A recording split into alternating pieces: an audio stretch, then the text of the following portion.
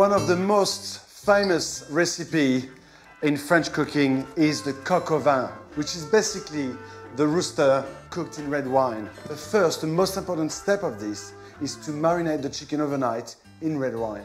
So I've got basically carrots, celery, garlic, and onion.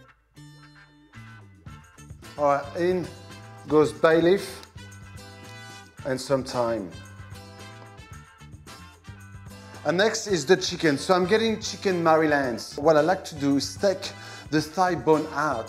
So there's only one bone left after cooking. So all you need to do is follow with a sharp knife the thigh bone here, just on one side, pulling away at the same time. Turn it over and do the same thing on the other side. Then with the thumb and your finger, all you have to do is go behind this bone and push so you can go through and then free it with a knife. Scrape until you go to the joint and all you do is put your knife through it and then taking the bones off. So all you get left with is basically a chicken leg without the thigh bone, which then suddenly just melts in your mouth. And all I'm going to do too is take the top of this one here and place with the vegetables. So what I'm going to do now is pour some red wine over it. Don't get the best red wine you can. There's no point for it. But get something like Shiraz. Now the best, obviously, is to marinate this overnight. All right. That chicken has been marinated for a long time, kids. We're gonna see what it does to it. This is what I'm talking about. The tannin has basically got onto the skin, onto this flesh, and that when it's gonna cook, it's gonna get deeper in color as well. So now the traditional garnish or vegetable component, I would say, to a coq au vin is pearl onions. These together sizzle. Then I'm going to put a little bit of butter, which helps with the caramelization.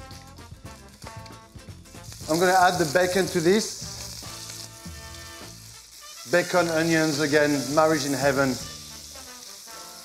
Uh, now I've got a bit of caramelization on the onions and uh, the bacon here. It smells really nice. I'm going to add the mushrooms. There's about 12 onions, 12 mushrooms.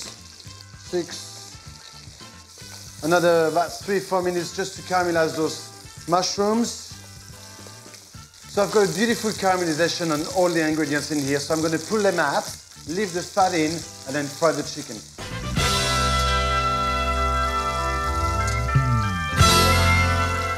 So while this is nice and hot, I'm going to fry the chicken legs, skin side down.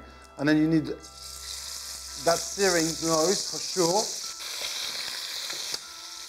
Now don't touch this chicken.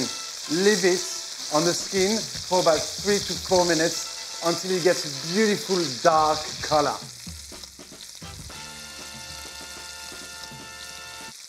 What I'm going to show you now, it's not actually burnt. It's the combination of the marinade, the red wine, and the caramelization of the chicken. It looks pretty dark, but that's what you want. Okay, all I'm going to do now is add those vegetables back into the pot. What I need to add now is a bit of thyme and bay leaf. And I'm gonna add a little bit of flour. So when I'm adding the liquid to it and it starts boiling together, it creates the sauce. And it wouldn't be a French recipe with a bit of flambé. So let's get some cognac. Here we go. What you do there basically is keep the flavor of the alcohol, but getting rid of the bitterness of the alcohol. And the following step is to add the red wine marinade into this. Making sure that all the chicken and all the vegetables are submerged into that beautiful alcohol. You've got beautiful paper lids, but the paper keeps the chicken submerged in the, that sauce at all time. Bring it to boil, then reduce it to minimum and cook it for an hour and a half to two hours. All right, the moment of truth. Are the French that good or what?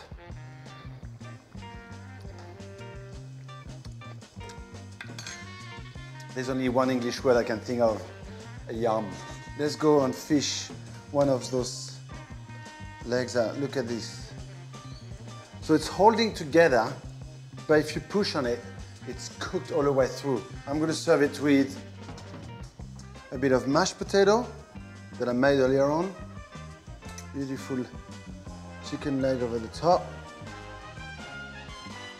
Onions, mushrooms, bacon.